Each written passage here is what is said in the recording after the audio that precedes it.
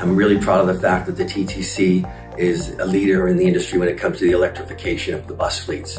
Uh, pretty soon we're going to have the largest electric bus fleet in North America, and we're a leader in that field. Right, working with Ontario Power Generation and, and Power On for contracts to electrify our bus garages and staying ahead of the curve when it comes to you know the environment and bringing in new technology in the city of Toronto.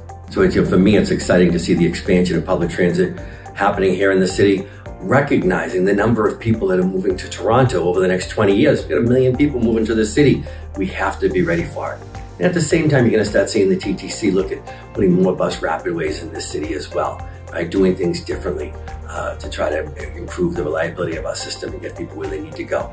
I think transit is critical for the City of Toronto to manage the growth that's already coming and that we're anticipating coming uh, in the future years. Uh, we need to rely more and more on transit, which is why we need to build out our transit network. So I see a fuller network in the future um, with the combination of, of rapid bus and, and LRTs and, and subways to build out a good network for people. You know, the City of Toronto, in, in terms of the, the planning that we're doing, we're looking at ways that we structure the city the uh, the land use decisions that we're making and how that creates communities where it is more attractive for people. It is easier for people to use transit to get to and from work, to and from school, uh, to use transit in in their daily lives much more.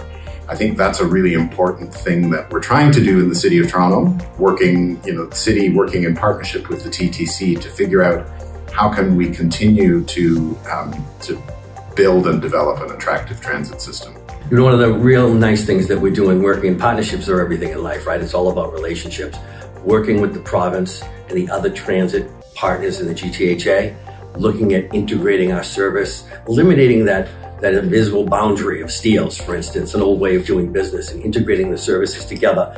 And in more recently, the discussions with the province about the fare integration, eliminating the double fare right? We want to make public transit as seamless as possible, provide so many options. It shouldn't matter what color bus comes, you should be able to jump on it. You know, and what's really nice is, you know, the technology of the Presto card now enables that right throughout the GTHA. So there's, there's a lot of real positives coming in public transit in the near future.